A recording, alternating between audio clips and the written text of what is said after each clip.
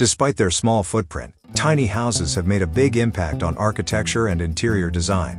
The Elderberry tiny home was designed and crafted in one such model. This charming house on wheels recreates the classic look and comfort of a traditional farmhouse while still offering the perk of mobile living. Measuring 30 feet in length and 8.5 feet in width, this dwelling packs a ton of features inside its relatively compact living space, allowing residents to bask in comfort and familiarity.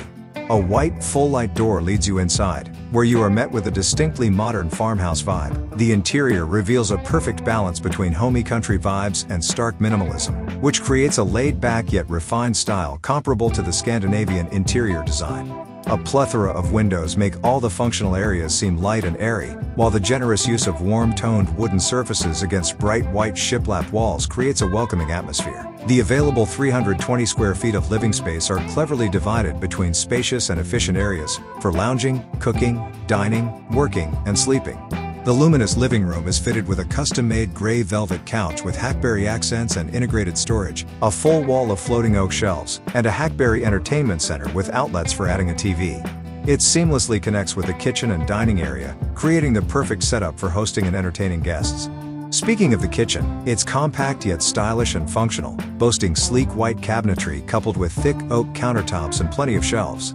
Another proof of the ingenious design is the flexible accommodation inside Elderberry. The master loft functions as the master bedroom, but it is big enough to fit either one king-size bed or two smaller twins. This means it can be configured as a kid's room as well. Sleeping capacity of this model is increased by a secondary loft, with enough room for a twin-size mattress, and the generous sofa in the living room that easily converts into a two-person bed. Another standout feature of this tiny house is the abundance of storage options. The designers integrated a slew of cabinets, shelves, and hidden compartments like the switchback staircase with three large cabinets, ensuring owners have plenty of space to stow away their belongings and keep clutter to a minimum.